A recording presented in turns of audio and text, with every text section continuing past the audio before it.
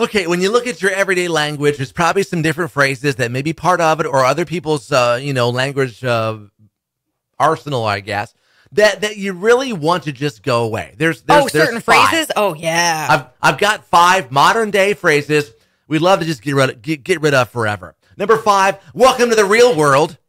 You know, I don't hate that phrase though, because there's some people who really need to join the real world. Number four, everything happens for a reason. It does, but it is an overused phrase. Number three, money can't buy happiness.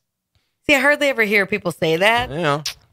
Probably because we all know maybe it can't buy happiness, but it sure would help. Uh, number two, sorry, not sorry. Okay, I am tired of that one. That one gets used to death. Yes. And and coming in number one of all the phrases we're really sick of hearing, the customer is always right. Ugh, they're not actually. they are not. No, they are Yes. not. Some are really wrong on purpose because they know people are going to say, "The customer's always right." Yeah, no, yeah, they'll tell you what they're right about. That you're a jerk face. Um, an honorable mention from me. Uh, it is what it is. yeah, that's a, a very played Yeah, one too. yeah, that one's run its course too. and can we take a break from bruh?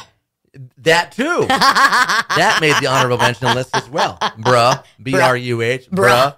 Get more info on modern day phrases we'd love to have just retire and go away. Yes FM Facebook, Twitter at 967 Yes FM, and the the Morning page at yesfm.com.